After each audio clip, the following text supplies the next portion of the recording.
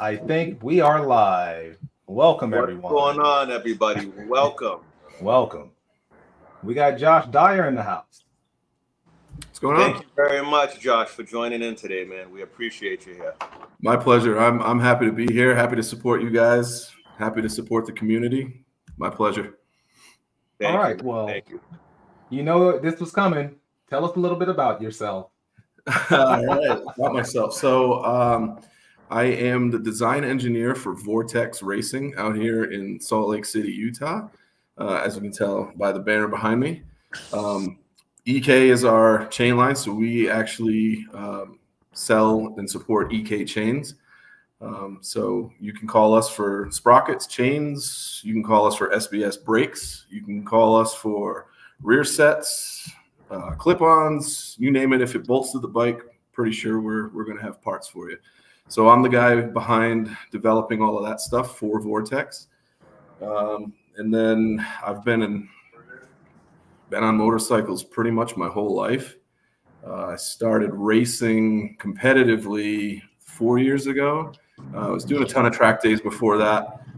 Got off the track on my first track day, and I said, I need more. I need to do this as much as I can. So, um, guy pitted next to me was like, "Hey, man, I race up in New Hampshire. Why don't you Why don't you come get your race license and and see what you can do?" And I never looked back. I've been I've been racing ever since.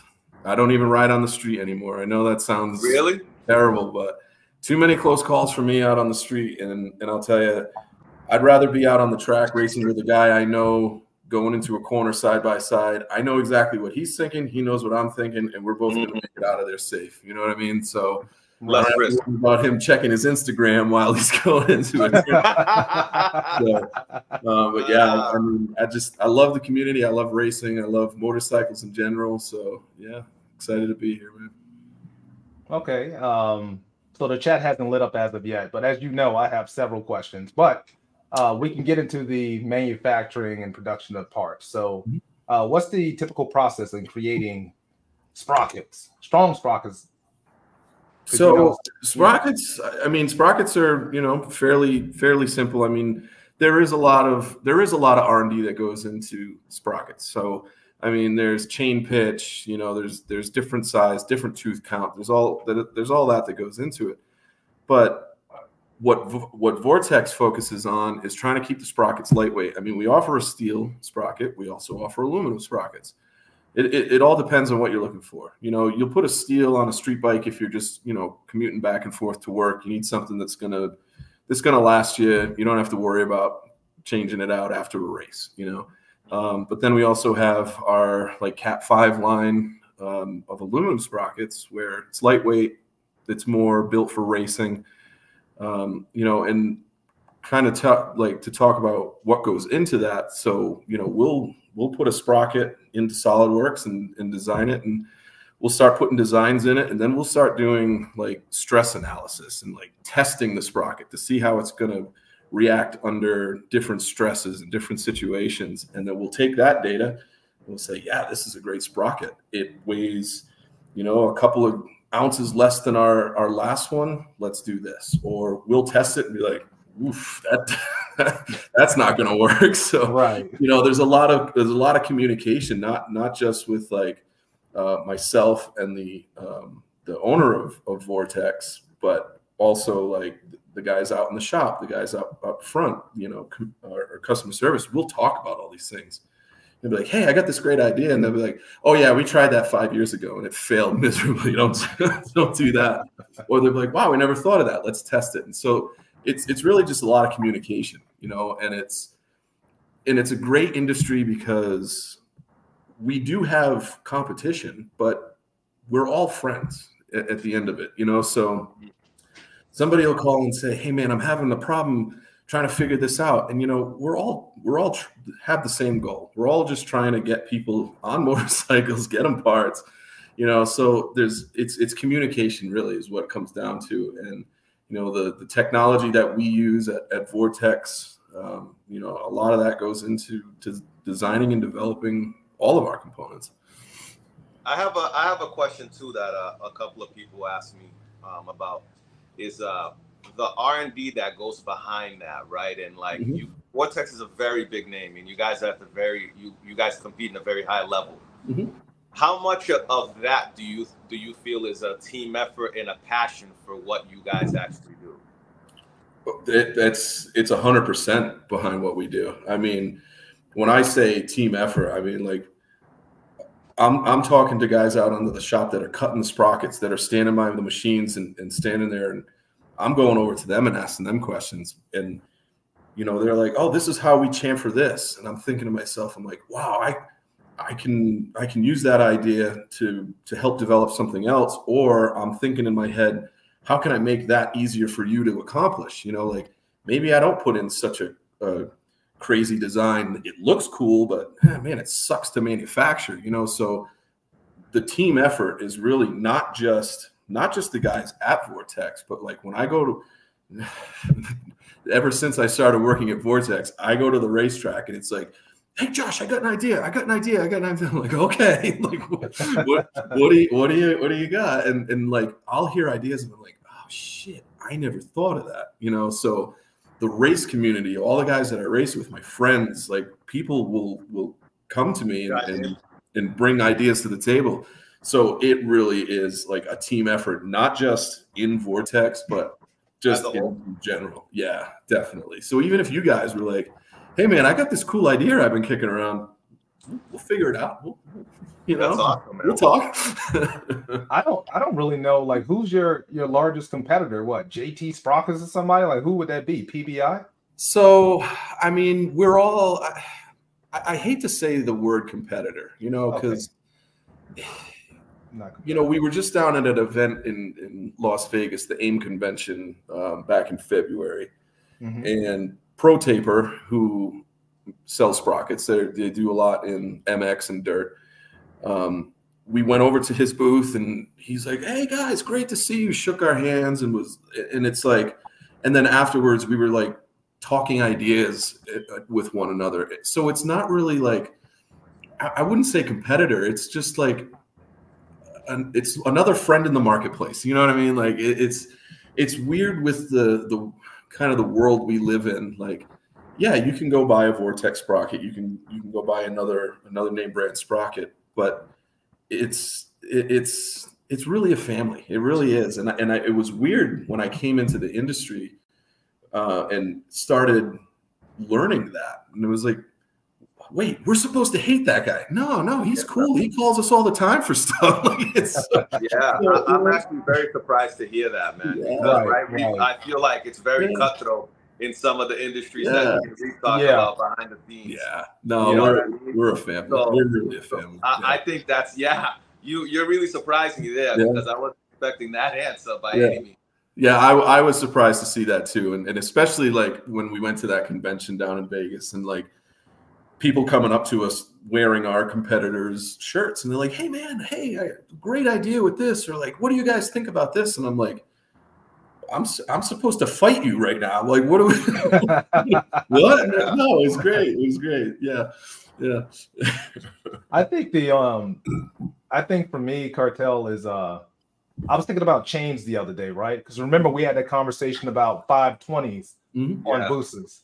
Now I know technology says that the tensile strength of chains has increased exponentially, but would you trust a even though people do it, Mhm. a 520 chain on a booster? Because I'm I'm entertaining the thought. So I want to Right there. Yes. yeah. So I I don't know, like I've been going back and forth and back and forth with it. I don't totally trust it, so I'll probably go with you know with a 530 just to be safe. 25 30 that that's fine. A, a 20 with with what you guys are doing i i probably wouldn't recommend because there's a lot of power that gets put down very quickly from a hayabusa and mm, i haven't heard it personally from chain snapping in those situations but honestly yeah you, you'd be okay but with what you guys are doing 525 530 that's that's probably the way to go. Yeah 520 s- everyday street riding all day long. My Oh. my my R1 that I race with has a 520 on it. So yeah, you you should be all right. You but, guys also carry uh, or offer carbon sprockets, correct? We do not. No carbon, no carbon sprockets. Nope, we do is steel, that, steel and aluminum. Is that something you guys would consider? I've never, I've never even considered that, but I'll take a note. Definitely write that down and consider that. I, I, mean, I was just asking, you know, if there's a, if you feel like there's a market for the guys that you know you guys cater to for carbon sprockets, you know. Yeah. So I mean, with things like that, we typically like like a company like Vortex, we've specialized in steel. We've we've specialized in aluminum. So the people that are coming to us for those, they know that. So I've never entertained the idea of doing a carbon or a composite material for a sprocket. But if there's the market for it, it definitely means that hey we'll research that see what that market looks like and if we can jump in with a product we we certainly will. Absolutely. Absolutely. Yeah because we have the technology now um, you know we've invested in a lot of tech new technology to start really developing new products and really start being more cutting edge being first to marketplace like that's what vortex is starting to uh, strive towards and if if that's a you know market sector that we can get into definitely absolutely yeah. We, we won't shy away from anything. We'll, we'll say that. I'll tell you, those sprockets um, that he's talking about, because there is a company that makes it, but it's like, what are they, $300 for a sprocket? Yeah, they're really expensive. Yeah, they're really extremely expensive. expensive. Oh, I'm sure. Uh, oh, my God. Oh, I'm sure. You know, we had a whole conversation about that, Josh. I mean, for a yeah. cheaper alternative, you know, you can get our vortex sprockets in different colors and stuff. You know, I'm just saying, just throw. Yeah, yeah, yeah, yeah. I actually ordered a sprocket yesterday too for my drag bike. I'm gonna try Perfect. a different setup this season, so Perfect. we'll see. Okay. Um, but um, we can move. Well, okay, cartel. You have any more um exciting questions because mm-hmm. chat hasn't uh lit up as of yet for questioning so um i'm just waiting for us to move into the actual racing portion no no go, go ahead go ahead whatever you guys want to um whatever you want to ask them brother well josh so uh, okay well tell us about your race life so race life i'm originally from just uh, just south of boston a little town called Rehoboth, Mass. Um, so there's not a lot of options for racing motorcycles back in the Northeast. Um, you're, you're from my way. I am from your way. I heard that. Yeah. So I'm from Rehoboth, Mass. Originally, that's where I grew up. So about 45, 50 minutes south of Boston. Yeah. Yeah. yeah. Closer to Providence. Providence. Yes. Yes. So there's really not a lot of options up there. Um, CCS, which is ASRA now, runs one or two events at New Jersey. Um, and then there's NEMRR, which runs at New Hampshire Motor Speedway. So it was, you know, six hour drive to Jersey for me, or it was three hour drive to New Hampshire. So I, I signed up for NEMRR and I started racing that track. Um, and I don't know if anybody knows anything about New Hampshire Motor Speedway, but that track is unique. Um, it's walls everywhere. It's got potholes. It's got paint lines wow. that are wet during the the like dry during whether it's wet or not. Like it's hey, that's a death trap. That's what it sounds yeah. like. I've, I've heard of it, but I, have never been. Yeah, it's it's the Thunderdome. It, it's really it's what we call it. Yeah. Um, if you get a chance to do a track day up there, uh, Penguin Penguin School does does a track day there. Um, I recommend doing it just to just to try it, but it's it, it's scary. It's a scary track. Um, so I started racing there. Started off as novice, um, and then last season uh, was bumped up to amateur. Uh, start did a did a full season amateur there. Um, and then moved out to here to Utah, and I'll be racing at Utah Motorsport Campus, which used to be Miller, and with Utah Sport Bike Association. And this is what I was going to tell you. This is the exciting news. I found out yesterday that I have been promoted to expert, and I will be racing with white plates as an expert out here in Utah. So, oh, congratulations! Congratulations. Okay. So, yeah, super excited about that. Super excited. I don't, I don't think I deserve that, but we'll, we'll time, time will tell. But okay. Yeah, super excited to be out here and and, and race with the guys and um, talking about You've community. Been doing it for four years, What's that? and you've been doing this for four years. You've been racing for four years. Yeah, four years. that's impressive, man. That's Uh, well, let's put it this way: New Hampshire Motor Speedway, it's they do they do um, like progression based off of lap times, just because of how dangerous some of the closing speeds could be at that track. You know, if you got a guy out there running, you know, a minute eleven, minute twelve lap times, and then you got a guy out on the track that's running like a minute twenty five, minute twenty six, that closing speed is dangerous on that track it's very short, it's very technical.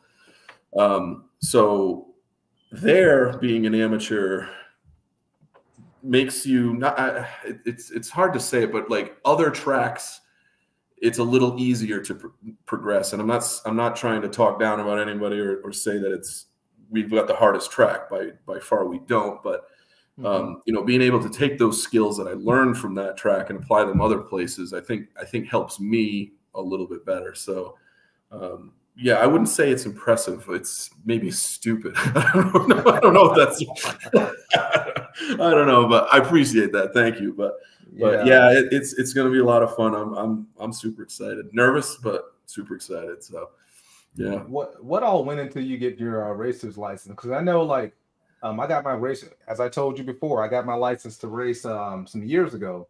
Mhm. The way it looked for me was uh, we essentially had to do what a full day of training, a bunch of track time, and then we Yep. had like a mock race. Yeah. You know, that's exactly it and um, and after that, you pass the test, then you get your license and you can race. That's it. It's it's really that simple. And I wish people knew it was that simple. Um, what really breaks my heart is being a racer and seeing year after year less and less people showing up and less and less people, you know, realizing how obtainable it actually is to get out on the track and race. And a lot of the organizations, NEMRR uh, out here in Utah Sport Bike Association, they offer a super street program where a track day rider can tape up his bike, safety wire his bike, go out onto the track and race and you know be introduced to that. And it's really that easy. And it just it hurts because like you hear about all these clubs and all these organizations and all these tracks shutting down because there's no interest in it. And it's like guys like me i would i would just if that's all i could do all day that's all i would do you know and, and i'm sure this same for you guys if you could be on a bike all day i'm sure you would I don't know. I'm getting a little older now. I take a couple of Tylenol before I ride. I don't know. yeah I've fallen too many times, you know. Yeah. Mr. Uh, uh, Irate Barry said, um, thank you. Can you see the comments, Josh? i i can't no Oh, okay. Well, uh, you have a couple of people that's telling you hi. I'm assuming you know them, so you know. I, oh barry yeah that's barry Yeah. from uh, moto united out, out here in utah yeah um but yeah it's just you know it, it's it's really that easy you know you, if, if you got a bike and it doesn't have to be an, an r1 or a or ninja or any, it doesn't have to be like the the industry is like shifting towards a lot of these upright naked bikes those bikes honestly are awesome on the track bring it to the track do it use the bike for what it's meant to do you know Hmm. um, and and I think once more and more people start to realize that, and they go to their first track day, and they're like, "Oh wow, my bike can go around a corner like that. Hmm, I'm gonna you know progress and keep doing that." And, Yeah. and I get racing's not for everybody. You know, that's a certain mentality and, and everything else. But you know, just get a bike, go to the track, and be a part of that community because it shows the rest of the world like, hey, like Yamaha just did, discontinuing the R1. Why? Because nobody's buying those bikes anymore. Nobody's racing anymore, and it just ugh, it kills me when I heard that because I have I have an R1 and I'm like, oh no, they get rid of that. Really? So that's why they discontinued the R1? So it's just diminishing sales in that sector. The sport bike sector has always been in the past few years. It's just been tough to keep up with. Everybody's shifting more towards the upright bikes, the naked bikes, you know, that perform just as well as some of those street bikes, but people don't want to be hunched over like this going to work every day. You know, they'd rather have a nice soft ride commute into work and you know and then if they need to take it to the track but chances are they're not going to and that's that's where it's you know the R6 a couple years ago. They discontinued the R6, the, the, R1. You know, when Suzuki pulled out of MotoGP, you're starting to see all of these manufacturers start to change their ways based off of what you know the consumer wants and what the consumer is doing. And unfortunately, it's hurting racing as well. You know, it's just yeah. it's it's tough and it, it hurts. It really does. It really does. Why do you think that the why do you think that the sport is diminishing like that though? Is do you think it's it, it, do you feel like maybe it's people think it's too expensive right off the gate and they don't and they don't think about oh i could just take my bike there and fuck it uh, you know let it fly. Yeah so cost is one. Um i, I was i was talking to um, caleb a guy that i work with at vortex the other day and we were talking about what it costs for me to, to be out there racing every weekend and i'm i'm spending a few thousand dollars a weekend just in tires, fuel, parts, you yeah, know, yeah, no. gear to get out there. Um, so I understand the racing side of things. It's but then on the on the consumer side, you know, it's it's a change in the ways. You know, back when I was a kid in high school, everybody wanted the Ninja. Everybody wanted those 1000s. Everybody wanted those bikes. And they were right. like everybody had one and now as you know the generations have changed and people are getting older like myself i you know i i struggle to be in a crouch on that bike all the time and, and leaned over and doing all the stuff that i do. So i get it. I, I understand the shift in what people are looking for. The government is pushing more for eco-friendly stuff. So we're seeing a lot of electric bikes which i which i think is really cool. Um, so there's a huge marketplace for that but like my r1 has however many catalytic converters on it two or three or whatever like so there there's all of this coming down from the government to like for emissions and everything else and so it's cost of motorcycles it's cost of gear it's it's just a combination of a lot of things unfortunately. So yeah it's it's it's tough. I'd love to see it turn around and you know what? If it means me going buying a upright naked bike, take it to the track, I'll do that. I, I don't, I don't care what I'm on. I'll, I'll get on the track. Oh, really? Yeah. I was uh, just telling my wife recently. I said, man, uh, say again, because uh, uh, I, I, was gonna say that me and Reaper. I was talking to Reaper a couple of days ago about the cost of you going to the track. Oh man, Reaper, Reaper, does a multitude of different, mm-hmm. like all, all things motorcycle. He does. Yeah. Yeah. You know, drag to knee dragging, you know, all mm-hmm. of it he does. So, mm-hmm. you know, come race season, it's like I'm broke. I'm broke. you, are done. I'm so broke, you know. Yeah. I was telling my wife, um, so I, I shortened my wheelbase up on my Busa, right? Because like mm-hmm. my goal or dream was to ride my Busa on track. Dragging yeah. me on my Busa. Yeah. Haven't done it yet. Yeah. But I swear, if I first of all, if I fall, I'm be mad because I'm gonna tear up a 23 bike. The second thing is I'm playing around in the street, so technically it would be safer on the track, but yeah, it's a big, heavy bike. Yes, be on track, and I have a track bike, so why would I take the Busa? Mm-hmm. It's just a, it's a, it's a thing. It's I, a thing. I hear you. you know, it's just a thing. You know what I mean? Have you ever had one of those where you just like, you know what? I just I, I don't know. I want to take a I don't know H2 on tracks. There's something stupid that doesn't make sense. Yeah, every day of my life I do something stupid that doesn't make sense. So yeah, I'm, I'm right there with you, dude. Yeah. That sounds like a lot of fun though, man. That sounds like a lot of fun. It's it's a lot of fun. And and here's the thing. I, it's for me, my brain is always like I can't ever shut off. And when I get up to grid and I'm looking at the lights and when the lights go out, it's silence. And I don't even wear earplugs when I race. I don't hear anything. It just everything shuts off. And I go around the and I do my laps and I come in and then I'm like, I feel like I just took like a nice warm bath. You know, I feel so relaxed, and I, and everybody's like, "You should be like," and I'm like, "No," I'm like, ah, and and I wish more people would get that feeling because it's such a great release to just like Oh yeah.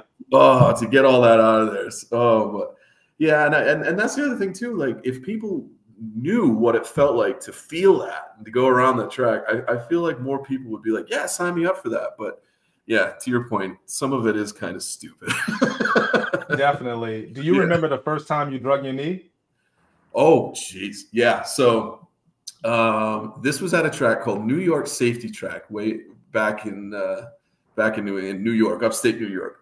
And this was when I was only doing like track days. I wasn't even racing yet. And that was like my big thing. Like, ah, I gotta drag my knee. So I remember going into turn one and the first time it happened, I thought I broke something. I thought, like, what was that noise? Like, what is like, yeah. I get off the track and I look at my knee puck and I'm like, I'm screaming. I'm like, all these guys I don't even know. I'm like, I'm holding up my knee puck. They're like, yeah. And everybody was so excited for me. They didn't even know me. they were just yeah. Like, yeah, like, yeah, yeah, and it's yeah. and it's things like that, and like the, the community that we have, like where something is, to me, that was monumental at the time and then there's guys out there that are doing just extraordinary things on motorcycles. And for them to be so happy for me to be able to like share that and you know like yeah yeah it was, it was just one of those great moments where like the community was just like yeah, this guy's great.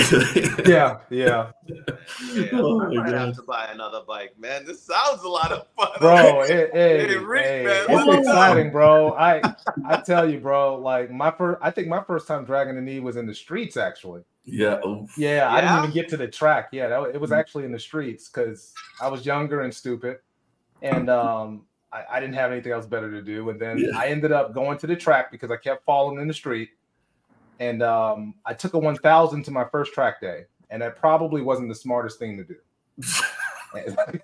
um, I ended up uh, taping my wife 600 up, bumming her bike. Yeah. So I told you my wife's 411, so I would ride yeah. her bike on track, like raise it up for me, ride yeah. the hell out of it, then lower it back down when. I didn't have a track day, and finally saved up, got a track bike eventually. Yeah. You know what I mean? But it, but that was probably stupid because uh, I've high sided in, in, the streets at 120 mile per hour. That kind of sucked. Nope. Third degree burns and all of this that stuff. Was not like it. Street? Nope. Yeah, like it's so it's it happened so fast. I didn't even know what was going on. Yeah. I, I, I was, was leaned over. I, I thought I was Josh Dyer, right? I was leaned over. I was leaned the hell over. I was getting it. I thought I almost had my, my elbow on the ground. At least that's what you feel like. Yeah. You know what I mean? You see the concrete out of your peripheral. You're yeah. like, yeah, I'm fucking low and then I just saw my bike. No, you still, and I was just in yeah. the air, and then I land, and then yeah, it tore the fucking bike up. It was an S one thousand too. Yeah, I drag uh, all the time, man. All the time. When I crash, oh, I'm, I'm dragging both elbows. hey, I, that's my next goal. Like, I want, I want to uh, drag my elbow, but uh, yeah. I haven't. I don't think I've visited any tracks where I think that's feasible, or I lack the skill to do it. Then must be because you know, you, you, can it. do it in a parking lot at super low speeds. Yeah, I'm not doing it. Yeah, that's where I'm, I just my luck, man. I'm gonna hit gravel. I'm gonna fall. You know. That's, yeah, that's why you, you know? rent a bike or you borrow somebody else's. Yeah, like my wife, right? no, because you still have to pay for that. You yeah, yeah, yeah, yeah. I was about yeah, to yeah, say yeah. that. That's a steep bill for for Reaper. Just learned on the K67 what kind of bill that is. Yeah. Oh yeah, man. You know, actually, and, and I like so what is uh I'm glad he said that. The K67, what do you think about the BMW, the new one? Outside of the older models as it pertains to being on track? Because you see Toprak just did he won a couple of races, but uh, do you think they're competitive enough? Really? Oh god, yeah. Oh, right out of the box. Yeah. Yeah. I mean, the, the technology and the research that goes into any BMW, yeah. yeah, there's there's no question. I mean, you know, you, you look at the Ducatis, you look at the BMWs, you look at like what KTM is doing now with like the RC series and things like that. Like the the research that goes into that, yeah, it's it's it's a heavy it's a it's a heavyweight hitter. It really is, absolutely. Yeah, I think the Ducati. I think for right now, even though Toprak's making the BMW great again, I think the Ducati is just yeah uh, leaps and bounds with horsepower above oh, everything oh, else. You know what I mean? Yeah. Um, I, I feel like the manufacturers eventually are gonna step it up a little bit. They have to.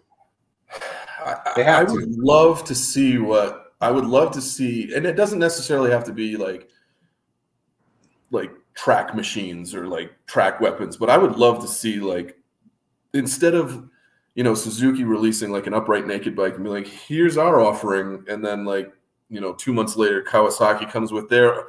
I would love to see like what they were doing in the early 2000s of street bikes, like the street bike wars, like oh yeah, you're 120 horsepower, we're 125, and we go five miles an hour faster than you. Yeah. I don't. It doesn't need to be about speed or anything, but I would love to see that like competitive edge again with the manufacturers, and maybe do it with the uprights. Maybe do it with you know some of the new bikes that they're trying to release that bring back that like. And I think that really has a lot to do with why racing bikes were so popular in the early 2000s because they were like it was basically the the the race wars. they were like, "Oh, we're gonna go faster than you. We're gonna," and there was all this hype about it.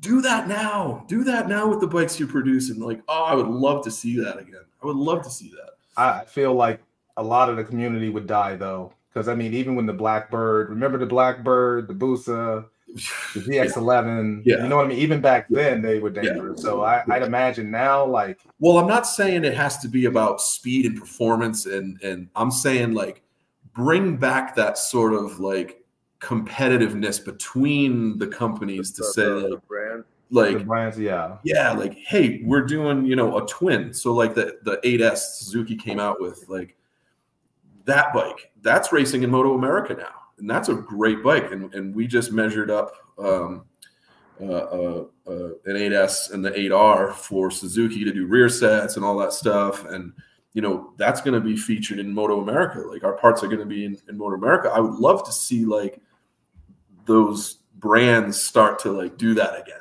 You know, doesn't necessarily have to be like we got more horsepower, we got more speed, but hey, you know, like all around, right. all around, like hey, yeah, oh, yeah. They, they came yeah. out with this, we we came with this. Yeah, you know, I, I yeah. think that would be very very interesting, man. Like, mm. like for example, like the BMW. Uh, yeah. What was the last the, the HP4, the 2017 mm-hmm. or the 2018? Mm-hmm. You know, so imagine if Suzuki would have came out with their version, you know, right. of something like the HP4 Exactly. The race bike you're talking about? The race? Yeah, yeah. Oh like yeah, every, yeah, every yeah. That'd be cool. Like yeah. that, and you know, and they only make X amount. Right. So even if they don't make a whole lot, right? Yeah. Like yeah. let's say 300. You're telling me 300? They're not going to sell out of 300 bikes? I, if I had the money, I'd go buy a limited edition bike right now if you, I could. You know what I mean? I know, right? But I mean, I think Imagine what was the race when it first came out? Yeah. The race was what eighty thousand or ninety thousand dollars or something like that. That the HP race. Yeah, yeah. Who? I mean, who? Well, no, I'm not gonna lie. I do see these older guys on they track days with super yeah. and stuff. Oh. Like I, I do see them. I don't know what they do for a living, but I see them. I was down in Homestead, Miami, uh, for an ASRA event uh, race, and the day before was a track day and I won't mention any any names, but a guy brought a Ducati to the track, brand new, beautiful. Oh my god! Cut it in three pieces. Come on, in turn one. Pretty much, yeah. In fucking oh turn one, yeah.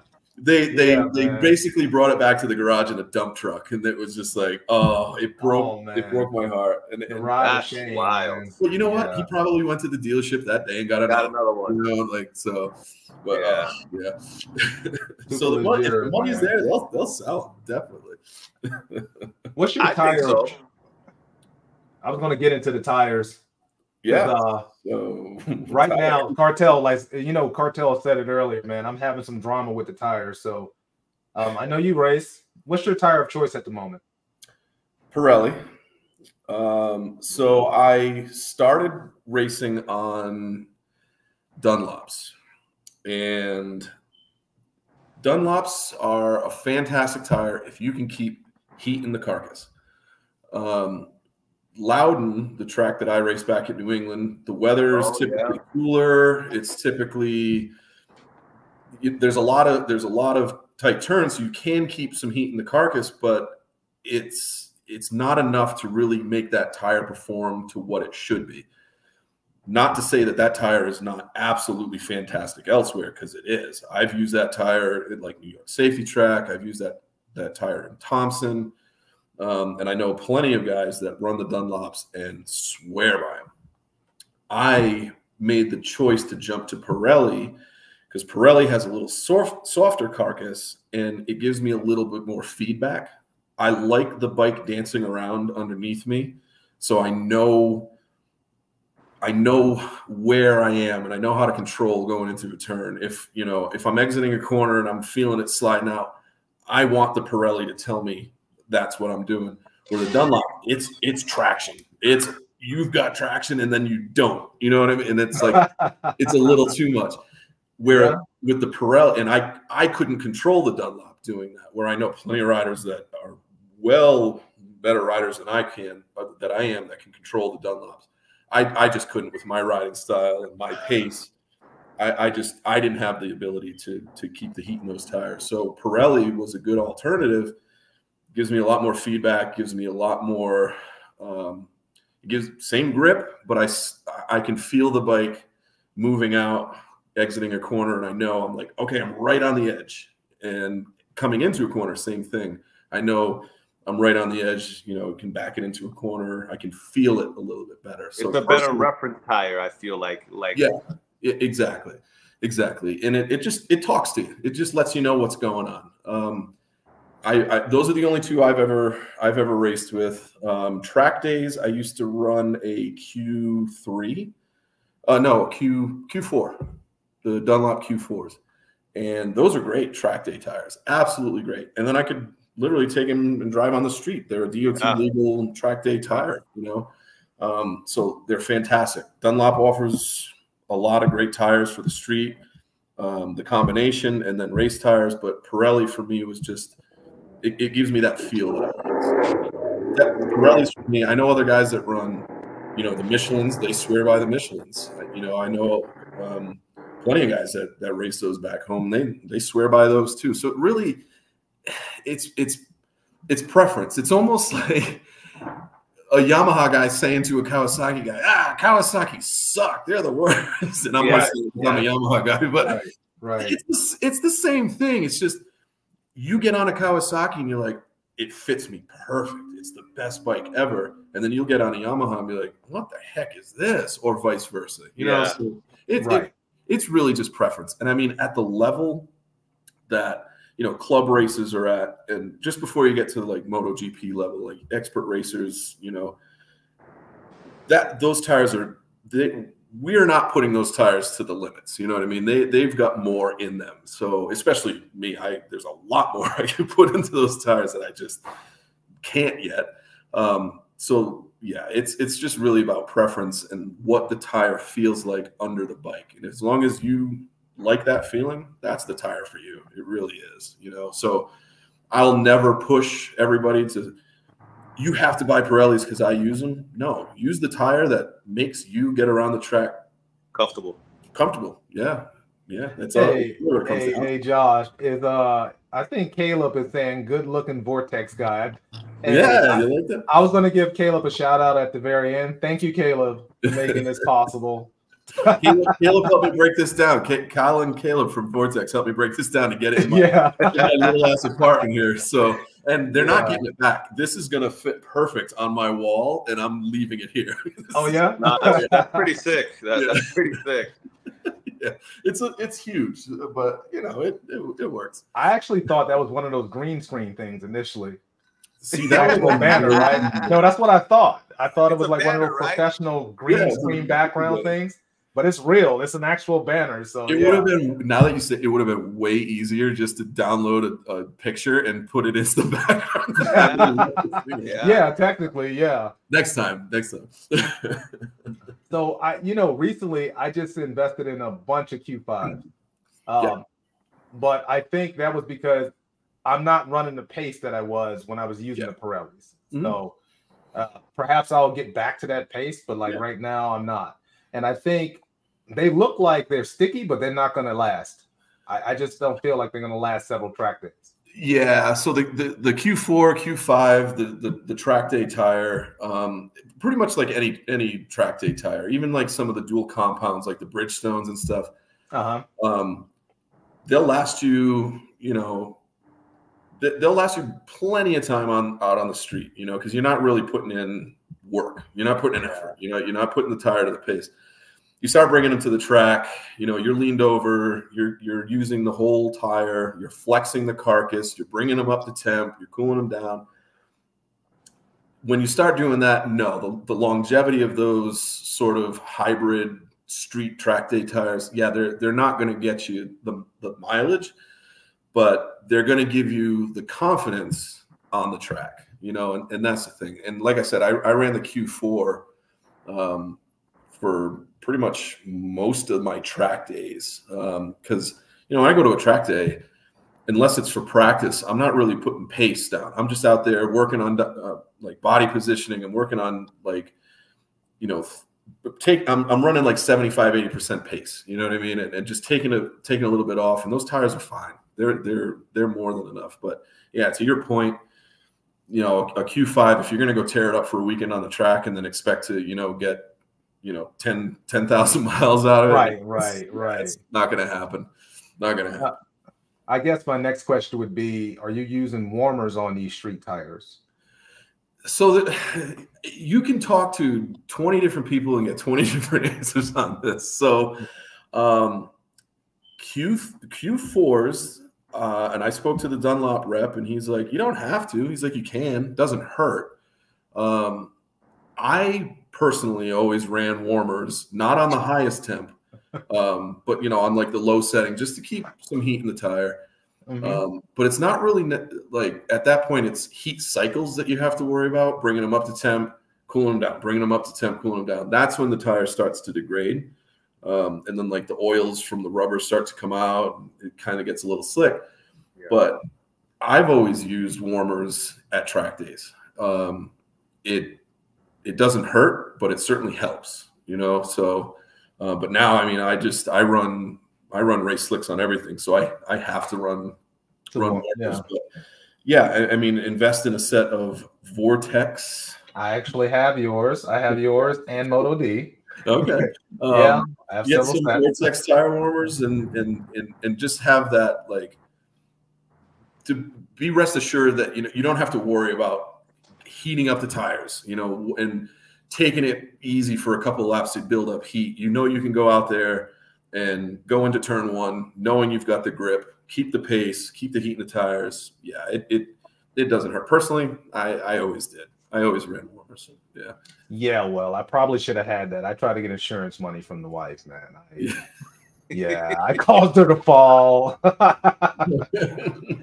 oh man, and she's still paying for it to this day. Oh yeah, you know, but it's okay. She has yeah. Q5s now, so it's all good. Oh yeah, yeah, yeah. throw, yeah, throw throw warmers on those. On you know, you don't have to put them on the highest setting. And the great thing about the Vortex uh, tire warmers, you can dial in whatever temperature you want. You know, so you know, throw those on at like 110, 120, 120 degrees.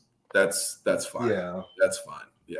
Okay. One, one question I have for you, Josh, is yeah. as you gradually grew, uh, became more knowledgeable on how you set up your motorcycles on the track. How much was weight distribution uh, a factor for you, or how do you feel like is a factor uh, in the bikes that you build or the bikes that you race? So, first things first is ergonomics on the bike. So, and that's kind of what we were talking about earlier, where I can get onto a Kawasaki and feel like I've never been on a motorcycle before, and or get on a Suzuki and feel like I've never been on a motorcycle before, and then get on a Yamaha and I'm like, okay, it feels a little bit better, right? Like a good baseline. Mm-hmm. With the ergonomics, and especially, and I'm just going to keep shamelessly plugging Vortex because I have to. um, you know, with with like our rear sets and our clip-ons and and everything we offer, to be able to adjust all of that to get the proper weight distribution, especially you know, if you're you're you're going into a turn, you're putting all that weight on the outside peg. If you're if you're peg is in the wrong position or the ergonomics are not set up right, it's going to throw everything off. And there's like, it's taken me forever to dial in exactly where everything needs to be set to get the proper weight distribution of not only, you know, how far I am forward on the bike, whether I'm using um, our new zero offset clip-ons um, that we're going to be having in stock. I think next week, if Caleb's still on, uh, verify verify that for me. Um, or if you're going to use our standard clip-ons, which push push the bar a little bit forward, all of that plays into the weight distribution of how you are on the bike. I know plenty of guys who can take a stock motorcycle and go out there and run record paces on on those guys. They don't count. They're just they're too good. but for mm-hmm. like the regular folks like me, you need you need to feel right on the bike first, and then that plays into what the weight distribution is and like how you can push the bars out when you're going into a turn and you can get you can get off the bike better. And if my you know if my foot peg on uh, is is set too far forward i might not be able to get my knees in those right positions. So it, it all affects everything. So our biggest thing with vortex is ergonomics you purchase our clip-ons you purchase our rear sets you can adjust all of those ergonomics to give every rider the perfect weight distribution when you're going into a corner to be able to get off the bike and feel comfortable and feel confident and not be hanging on like I've done a few times going into yeah. corners. Like, oh, what's going on? So it's it's huge, and and that's that's one of the things. And not only on the track, but like even on the street, like even if you're commuting to work, just being able to feel comfortable going into a turn. Let's say the conditions yeah. aren't 100%. Let's say it's raining, you know, and yeah. have a little bit less traction. You want to be able to feel a little bit more of that control. So you dial in those ergonomics, sets up your weight distribution a lot better, and you can feel the mechanics of yourself connected to the bike a lot better. And it, it'll just it'll make you feel more confident and it, in turn make you a better rider, honestly. Yeah. Yeah. yeah, yeah. Do you feel like track days makes you gives you the skill to survive better in the street? So I know a bunch of guys that went to track days and tried to do what they learned on the track on the street. I don't ever recommend that. What I recommend track days for, if you're going to main, maintain riding on the road, is learning the skills to get yourself out of trouble. Um, I know plenty of guys who can go into a dealership, they'll drop 20 grand on a 1000 and think they're Valentino Rossi, and it doesn't end well. And I've unfortunately lost a lot of friends to that. What I recommend is you go to a track day or you go to um, a coaching program at a track day that teaches you the skills to, hey, if you're in a if you're in a turn and something happens, you know how to be able to get out of that lean and be able to to escape danger. I never recommend anybody learning what they learn on the track to go try to drag me on. Um, well, oh. you'll know Route 95, Northeast, right? Yeah, or, yeah. You know, or, or around Boston. You know what I mean? But yeah. um, track days are a great way to learn the skills you need to be able to. I hate to say it, survive on the street. You know, it's just there is too much there's too much shit on the road that just pops up and you, you know a car blows yeah. a stop sign what are you going to do if you go to a track day you know how to avoid that stuff you know and they teach you those things so you know it makes you a better rider all around absolutely but don't think hey i went to a track day i learned all this stuff and now i'm going to go race my buddies yeah. out on the street I, just I've, I've lost too many friends and I, am hmm. sure you guys probably have too. And it's just, it's not, it's not worth it. It's not worth it. Do that, do that shit on the on the track. Have fun. If you go down, your bike's gonna slide off into the grass. You're gonna slide off into the grass. You're gonna pop up. Your ego's gonna be hurt, but that's about it. Yeah. You know what I mean? So it's it's basically learn to live to ride another day. this is what it is, you know. Yeah. You can gauge have, at the track. You can't gauge elements out in the, in the real world. Exactly. You know? Exactly. And there's been times, and why I won't ride on the street anymore is how many times I'm just going down the road and somebody will just pull out in front of me. And I was uh, actually doing a lot of research on this, and there's a lot of studies that show drivers in cars will see physically see a motorcycle, but it doesn't register in their brain that it's another vehicle. Now, if I was driving a truck or a car, they're going to see that and they're going to say, "Oh, there's a car or a truck coming. I'm I can't pull out." it's not that they're like, oh, for, it's just a bike. I'm going to cut them off. It's just that something in the brain is saying it's not a car. It's not a truck. It doesn't disregard it doesn't register. Yeah. So there's a lot of research uh, around that, and I've I've been through that. I car cuts me off. I'll come up to him on the red red light, and I'll be like, "What are you doing?" They'll be like, I don't even know. I saw you, but I like, and they're just they they don't realize that it happened, you know, and it, and it happens too much. It just it happens too much. That's scary, man. That's, that just, that's scary when you you know what I mean. Yeah. Because me me and Reap Reap Reap does a lot of riding with his wife, you know, yeah. and just the thought of that, you know, yeah. that's how people really like register that in their yeah. mind. Yeah. And I'm not saying by any means, I'm not saying don't ride on the street. I'm not. That's not what I'm saying just be aware of, and picture, you know, when you're coming to a stoplight and you see a car ready to turn, anticipate the worst. Yeah. You know, prepare, be prepared for the worst. Always keep a good line of sight, you know, just and keep in your mind scanning scanning around just keeping you know being active and a lot of people say like that's too much for me i can't ride on the street because it's it and that's why i i stopped riding because I'm more worried about everybody else and I can't enjoy it, you know, but that's just me, you know, but I'm not saying anybody should not go right out on the street. If you're going to just please just pay attention. That's it. Yeah. I, you know, I really a cartel. So here we go. I have to ask you because a lot of guys that watch this is, um, in the roll race community, and we've had this this discussion in the past. So here we go. oh, here we go. I'm sorry, I just gotta ask him. I, I, was thinking it, and I, I was like, "Well, is this the right time? It's the right time." Okay, out of roll racing, I know you know what that is because it's the new hotness. They they they put a term to what we did on, you know what I mean, on the interstate back in the day. I know. Drag racing mm-hmm. and road racing. Mm-hmm. Which is more difficult in your opinion? Uh, I gotta, I gotta get going. Amazing political answer. Yeah, yeah, yeah, yeah. oh, I mean, my, my, dinner's ready. Yeah, I gotta, I gotta, no, uh, that that's an awesome question. Um, honestly, I wouldn't say that anything is more difficult oh, than the other. From and I'm gonna be, I'll, I'm gonna give you the the politically correct answer, but then I'll give you, I'll, I'll give you my.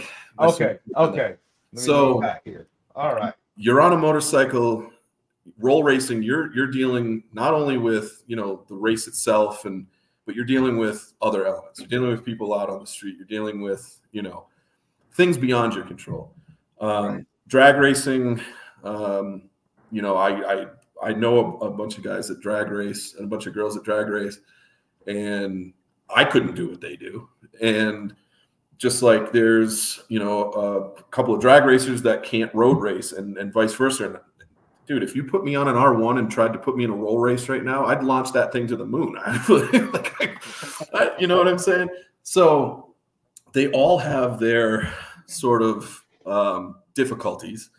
Um, with that being said i mean you know, you guys are already going in a straight line, and all you're doing is hitting the throttle. I'm just, I'm, I'm, sorry. I'm, sorry. You know I knew it.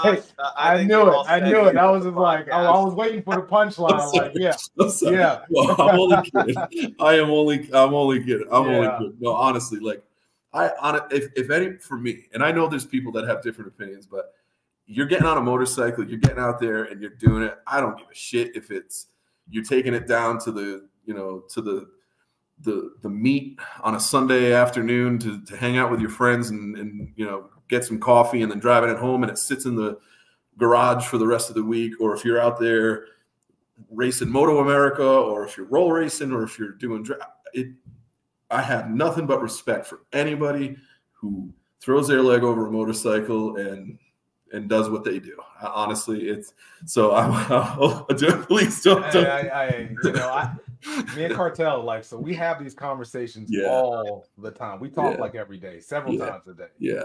And um, you know, sometimes we discuss the dynamics of the different facets of riding, mm-hmm. and I'm just like, people think that they're so like, yeah, each one has its merits, so it's all good. You know, yeah. that's what. No, and like I said, there's a certain skill set involved with with all types of riding that, like I said, I, I couldn't go do what you guys do. I no way. The, you know, I, I top speed scare the crap out of me. You know, I went, I bought my my R1 and I was like, let's take it on the highway and see what it can do. I got up to 153, 154, hanging on for dear life, like screaming in my helmet, like, wow, what am I doing?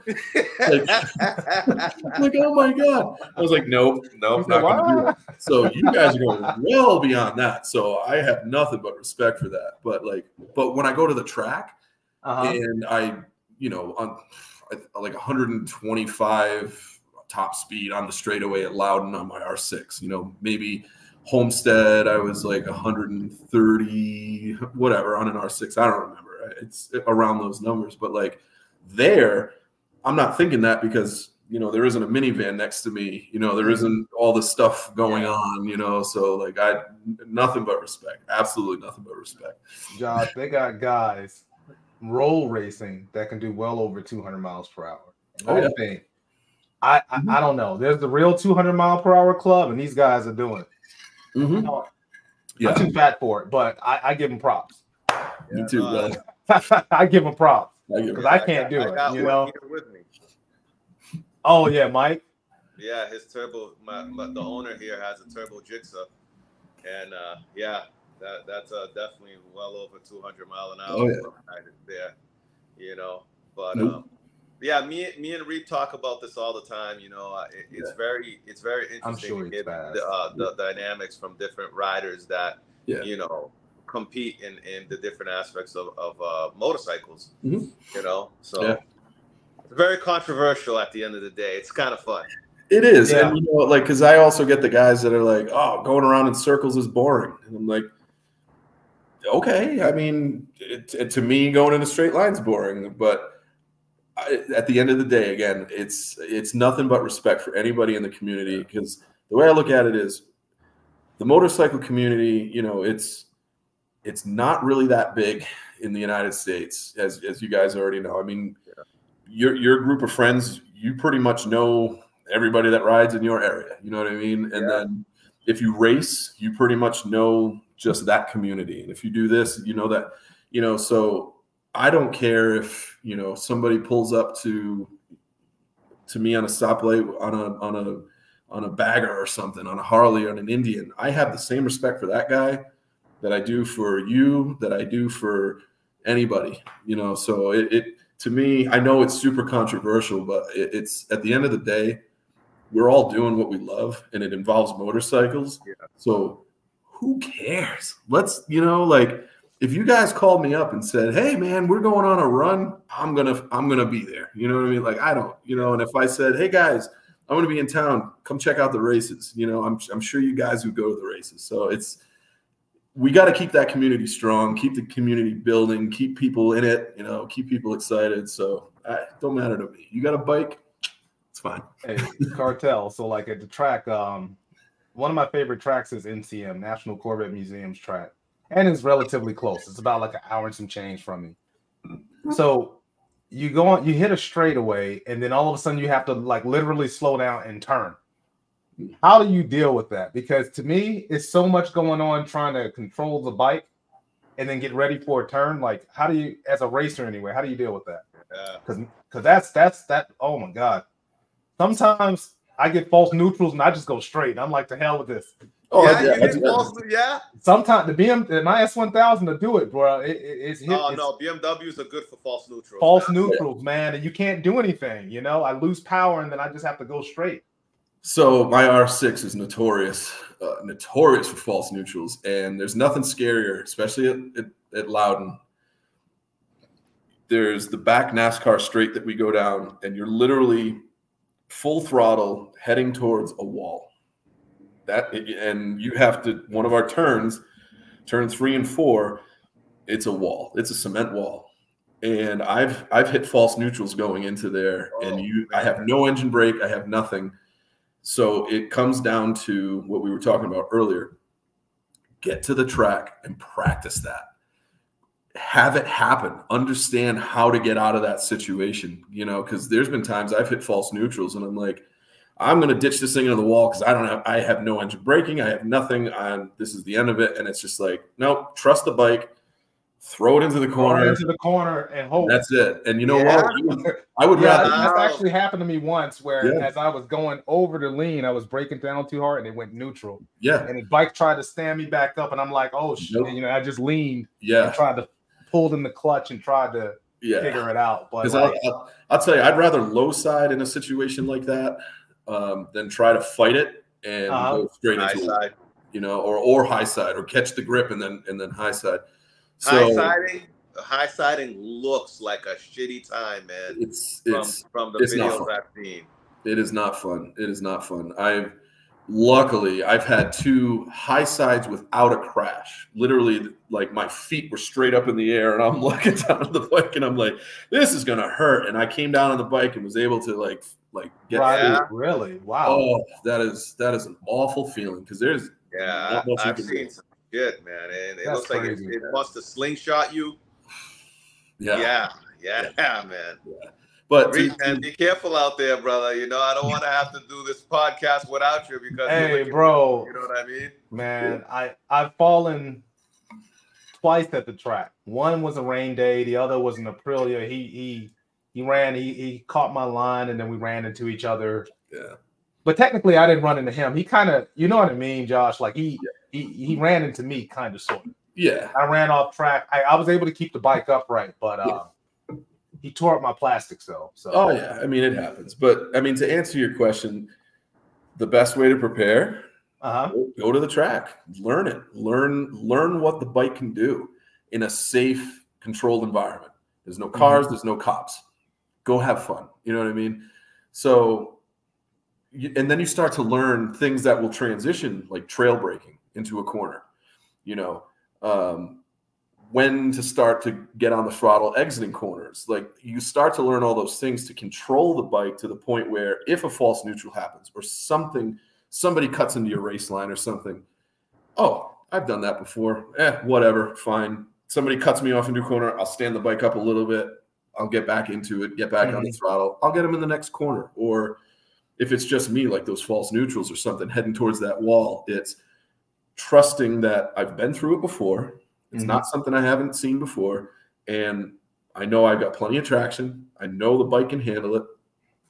Get my body position correct, get my weight transferred correctly, power through that corner, and then, you know, and, and escape the danger or escape, you know, the, what the worst thing that could happen, you know, whatever your low side or or worse, you could you could high side. But honestly, the way to prepare for it is just do it. Repetition. Just keep doing it. And I know you can't really train a false neutral going into a corner. No, you, you, yeah. But unless you do it on purpose, I guess. Yeah, I mean, purpose. there's, you know, but the, the best place to, for it to happen, learn that at the track, you know, because if that happens out on the street and you have to stand the bike up in a corner and you go running straight through that corner, there's a car coming around that corner, you know, it, it's yeah. So yeah. the, the yeah. best way to prepare for it is just, you know, repetition, learn, learn your bike, learn everything about that bike push it to the limits, knowing what it can handle because they can handle a lot, a lot more than you think. You know. Yeah. Just watch a Moto America race, watch a Moto GP race, watch a World Superbike race. Those bikes are designed to do that. You know. So yeah. Or yeah. you can have a 400 or a 250 pass you like you're standing still on a 1000, which happens regularly. Now for yeah. real, like on track, that oh. uh, you'll have a 250 fly past you, and you're just like, are you serious right now? Oh, Oh yeah, been there. been there. You know, like I'm on a one thousand, and then when it straightens up, you good. I had a guy do that to me Motard. So and yeah. they just come right around you. You just oh, like, yeah. holy, sh-, you know what I mean? What the fuck is this? You know what's even more degrading is when they come around you on a 400 and they tap their tail, like, "Hey, follow me." Like, yeah, follow me, like they're a coach, asshole. Yeah, yeah, yeah. Been there. Been yeah, there. yeah. The coach isn't. Yeah. But Cartel, I you know, I think um I'm talking to him all the time about like I just can't wait to get to back to the track, but I'm kind of in a pickle right now because I'm trying to prepare all of the bikes like I was telling you earlier. So it's it's uh I don't know, it's expensive. For me, it's expensive, you know. It is. So well, what am I supposed to do to to to to become a racer? Sell drugs? Like what how what am I supposed to do? Because it costs me a thousand dollars a weekend for just track days. Start an OnlyFans. oh well, I don't. Well, let me look at my feet, man. Feet like, pics, bro. Feet pics. Yeah, Listen, yeah, you're right. Josh, I, I tell me... Reap all the time, man. I'm like Reap. The time is coming, man, where you're about to be busy pretty much every weekend because yep. he's such a big fan of the sport. Yeah. As a, as far as myself, I I pretty much do only roll racing. Yeah. You know what I mean? So mm-hmm. it's not as, especially in Massachusetts. Yeah. You know the roll racing, which hence is why I'm in uh, Florida right now. Yep. You know, um, it, it's just not really that big, and hopefully, I can change that or, or bring a, a, a bigger a bigger crowd yeah. to that in Massachusetts. But yeah. you know, we have about a four month window of, of uh, nice weather and then that's it. You know what I'm saying? Mm-hmm. I, am crying to uh, to get to get uh, to get some good stuff uh, over here in Florida. Yeah. But I do have one question for you, Josh, uh, sure. before I have to sign off. Certainly. Um, and uh, for the future of Vortex, right, and for yourself as a racer, what is what is the goal, or, or what is the the picture that you have in your mind for the for the, the business and for yourself personally? Oh, awesome! Great question. So, um, I have I have such a passion for just the sport in general, for motorcycles, and to be a part of Vortex. Um, it it just like today I was I was sitting at work and I was doing some designs and I was actually thinking about tonight I'm going to be on on here chatting with you guys and I was like wow, my life doesn't suck, you know? And I, I started thinking about that and the passion that I have for, for what we do and what Vortex is as a brand and what Vortex has built throughout the years. My goal personally is just to continue to keep Vortex as, you know, a that brand that everybody knows. I want to go to Vortex because they've got these parts and they they perform and they you know and that's like the passion that I have for it, like I put that into everything that I do at, at, at, Vortex and all the designs. And, you know, I was measuring a bike this week and I'm like, I'm like, oh, I, I got these great ideas and all this stuff. And I'm, I'm always envisioning like how to improve and, and how do we bring Vortex to that next level. Um, my goal is we want to be first to the marketplace with everything, whether it's rear sets, whether it's, you know, uh, uh, case cover, frame sliders. We want to be the first out there to say, hey, look, Vortex cares about the guys out on the bikes. We, because we do. You know, um, the the owner Matt, he he was a racer years ago, and he he started this business down in Florida in his garage, and him and I have talks daily you know, and it, and the passion that he still has for it, and the passion that Caleb and Kyle in the in the front office have for it. Like you just, we want to be, we just, we we don't necessarily need to sell hundred million dollars worth of stuff, but we want to show the world that we care about everybody on a motorcycle, and and that's the passion, and that's what the goal is for me is to bring that into Vortex and be like, hey, you got a question? you're personally talking to me, Caleb or Kyle, like my my business card has my personal cell phone number on it. If you need to call me and ask me a question, call me and ask me a question, and I will I will do the best I can to help. You know, so there's that personal touch to show that we we're there, we care, we yeah, certainly care. Yeah, almost direct to consumer kind of a feel. Exactly, you know? exactly. Because here, I ride, I race. Um, Kyle, he's into um, like Porsches and and and those supercars, and he does he does that stuff. And Caleb has had motorcycles, and you know we're we're all a part of this racing community, you know, and and that's what we're trying to still be passionate about and show the world, like, hey guys, we're we're one of you, we're with you guys, you know. So, um, and I, I think that's that's the goal for me to you know come into Vortex and really just sort of remind the world, like, hey guys, we're we're one of you, man.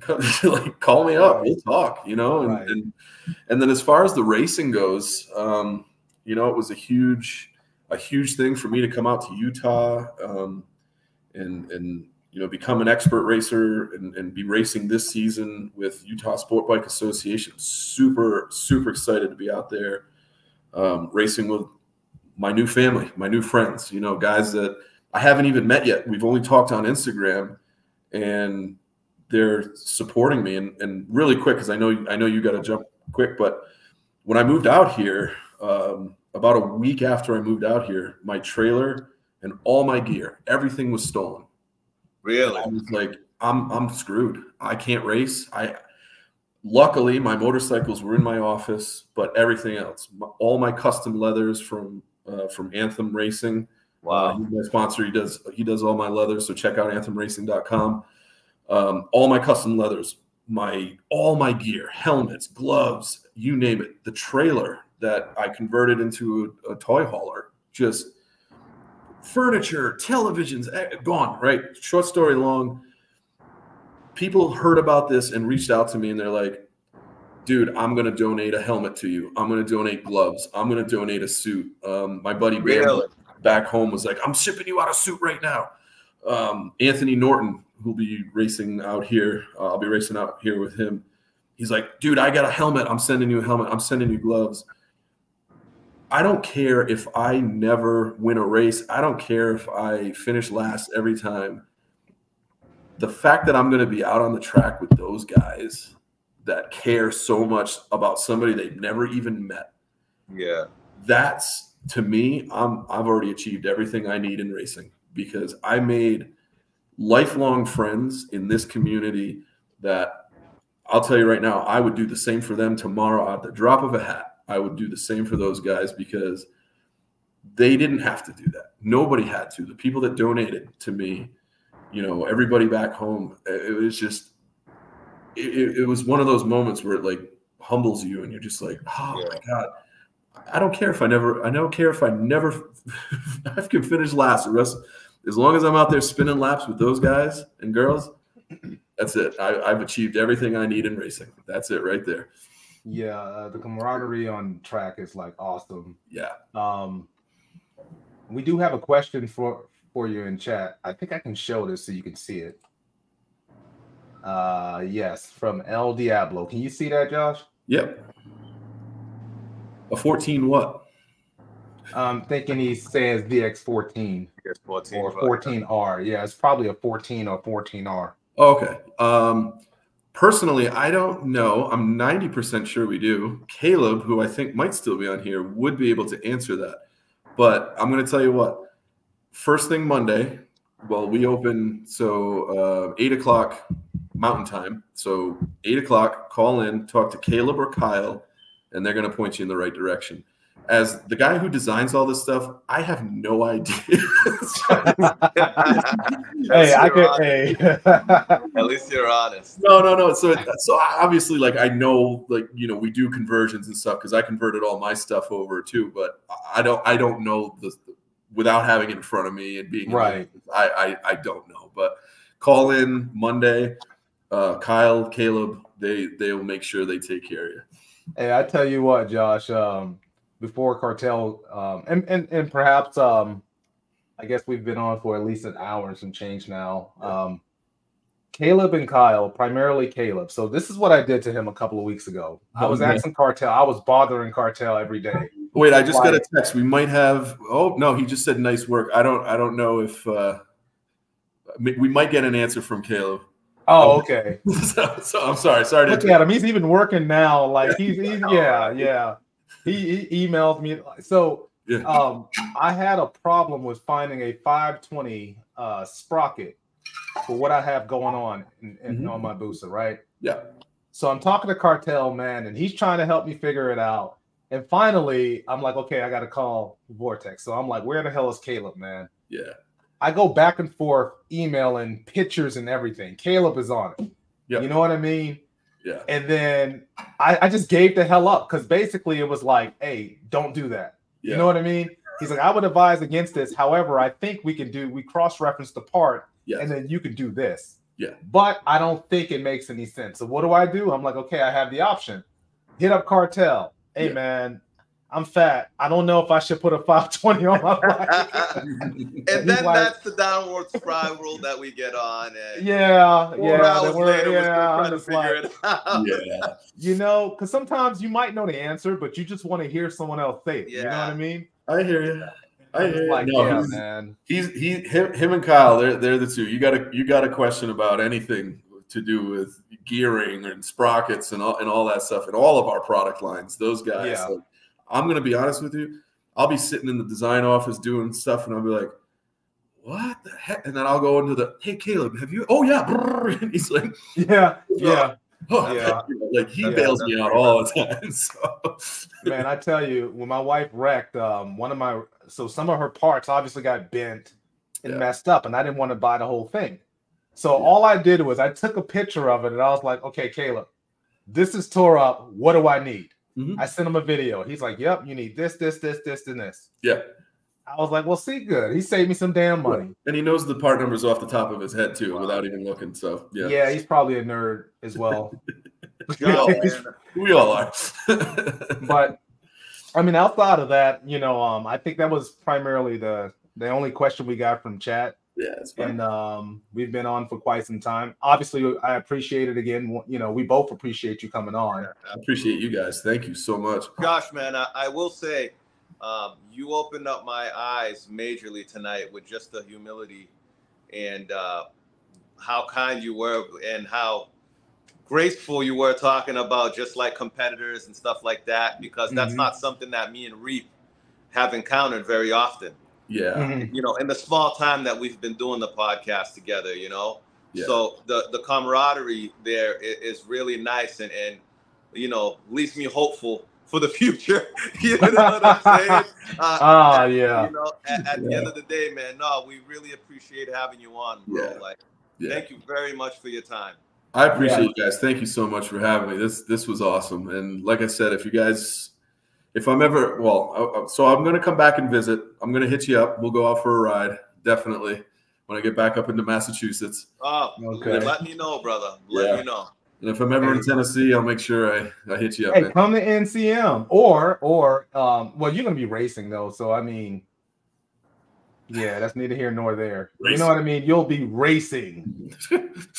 yeah. So unless you're doing a track day, like it's not yeah. gonna work itself out. You know what I mean? No, I'll make I'll make it happen, man. I'll make it happen. All righty. Yeah, I'd, well, I'd, love to cover you with some videography, uh, Josh. So maybe I'll hit you up and talk to you. That'd be that. that'd be fantastic. That'd be awesome. Hell yeah. You know, but yeah. um, thank you guys, man. I appreciate yeah. you. I appreciate you as usual, Reap. Um, we'll talk yeah, soon, guys. Absolutely. All righty. Thanks again, Josh. Thank you guys so much. Appreciate it. Mm-hmm. Bye.